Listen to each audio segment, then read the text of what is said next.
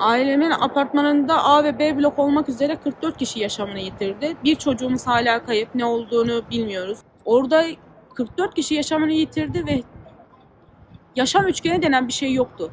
Ve biz hiç kimseyi koridordan veya kapı önünden almadık. Herkesi yatağından aldık. Bu ev daha 5 yıllık bir binaydı. 2015 yılında orada bulunan 6 katlı yapı e, marketler zinciri olan Hasan Çam tarafından, Özçam Marketler Zinciri tarafından oraya market açmak için satın alınıyor.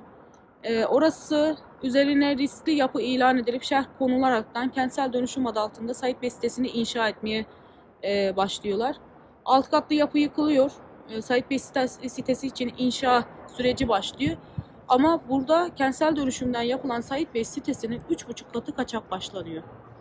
Belediyeden herhangi bir bu konuda ceza, imar barışı veya e, bir yaptırım da uygulanmıyor.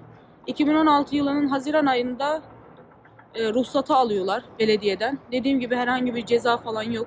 Bu bina denetlenmemiş, şantiye şefi yok. İsmi geçen şantiye şefi şantiye alanına hiç gitmemiş. İki tane şantiye şefi var. İkisi de şu an tutuksuz yargılanıyor.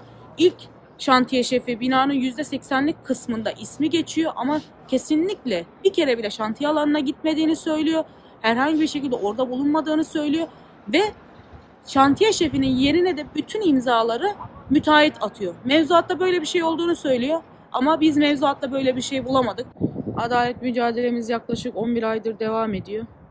Yargılama sürecinde yani özellikle yeni yapıların yıkılmasıyla ilgili soruşturmaların biraz daha derinleştirilmesi, kamu personeli, personellerinin daha hızlı soruşturmalara dahil edilmesi, davaların daha titizlikle yürütülmesi gerekiyor. Özellikle Sait Bey sitesinde yapılan onca usulsüzlüğe rağmen taksirle yargılanmaları kabul edilir bir şey değil.